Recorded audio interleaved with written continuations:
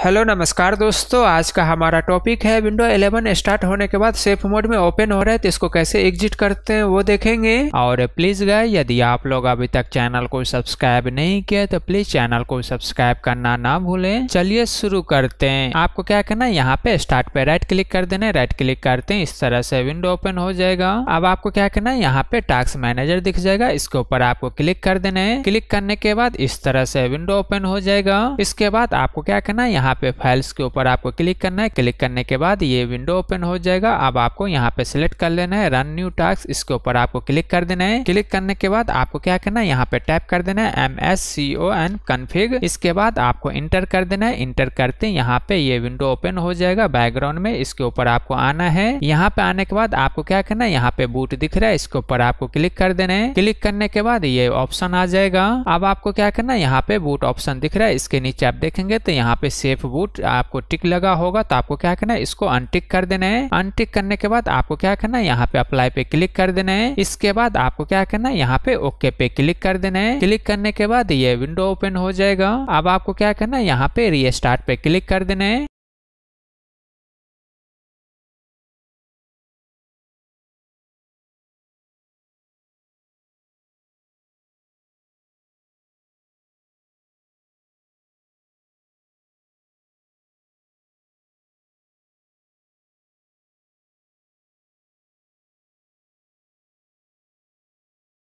Restart होने के बाद इस तरह से ये विंडो ओपन हो जाएगा। आप देख रहे हैं सेफ़ मोड एग्जिट हो चुका है। और प्लीज़ गाय चैनल को सब्सक्राइब करें लाइक करें शेयर करें। Thank you